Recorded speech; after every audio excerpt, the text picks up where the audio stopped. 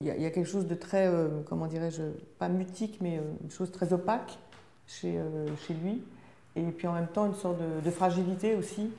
Donc voilà, il y, a, quelque chose qui à la fois résiste et, on sent aussi être, enfin dans le personnage qu'il a construit, être prêt à, s'effondrer, mais enfin une, extrême fragilité aussi.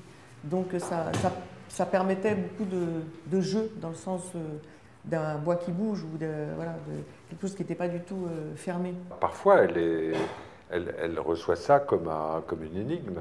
Isabelle a une façon de jouer souvent avec ses partenaires, mais avec, euh, avec Gaspard, ça se voyait beaucoup. Enfin, ça se voyait ça devenait euh, fort dans, ce qu'elle faisait. Elle, est spectatrice de ce qu'ils font en même temps qu'elle joue avec eux. Ça, c'est vrai. Voilà. Et, je, je, et, et, donc, elle réagit à eux comme si elle était au spectacle en train de les regarder jouer. Et ça, ça c'est tout à fait formidable. Mais quand c'est un très très bon acteur comme Gaspard, il en profite et il, il lui donne à voir quelque chose à quoi elle réagira. Voilà. Oui, mais c'est juste une manière d'écouter, tout simplement. Oui, c'est ça, oui. Ouais. Si on a de l'intérêt pour la personne qui est en face de soi, alors du coup, oui, ça fabrique une, une attention, une écoute, et tout d'un coup, ça fait qu'on joue ensemble, tout simplement. Ouais, ça prend. Donc, avec les acteurs avec qui on joue, jouer, c'est jouer avec. Voilà.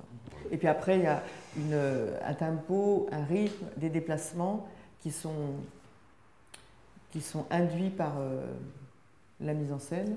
Bah oui, la première fois qu'ils ont joué ensemble, la première scène qu'ils ont joué ensemble, c'était le premier jour aussi de Isabelle, de tournage.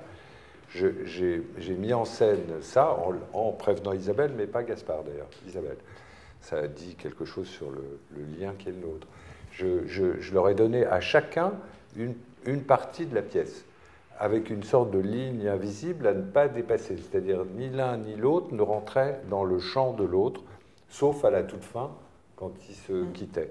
Et c'est une assez longue scène, et évidemment, ça, ça produit immédiatement un type de jeu, d'affrontement, de regard, un tempo aussi, comme celui dont elle parlait.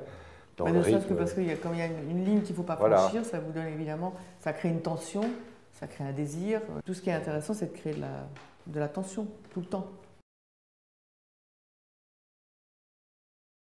Je crois que Benoît, il fait que des films noirs, au fond, d'une certaine manière. De, de thriller comme ça mais... Oui. Des films d'angoisse, de menace. Quand j'ai fait Villa Amalia euh, avec euh, Benoît, c'est pas un personnage qui, qui cherche l'enfer, mais il y a une, c'est un personnage qui cherche en tous les cas. À l'arrivée, elle trouve euh, apparemment le paradis, ça sera peut-être finalement l'enfer. Il y a toujours ça dans les films de, de, Benoît, je pense. Non pas que tous ces films soient les mêmes, mais fondamentalement, il y a, il y a lui au cœur de ces films très très présent, très là. C'est ça aussi qui est bien quand on fait des films. Comme dirait Benoît, pas, pas, pas, du cinéma, parce que tout le monde peut faire du cinéma. Mais quand on fait des films avec euh, une personne en particulier, c'est au fond de savoir que c'est lui quand même qui se raconte dans le film. C'est pas moi qui me raconte, c'est lui. Sans aller jusqu'à dire que lui c'est Eva ou Gaspard. Je veux même pas le savoir. Je sais pas. Mais le cœur du film, c'est lui. Tu trouves pas? Ah, si tu le dis. Mais je le dis parce que, oui, parce oui. que tu le sais. Bah, sans doute, oui.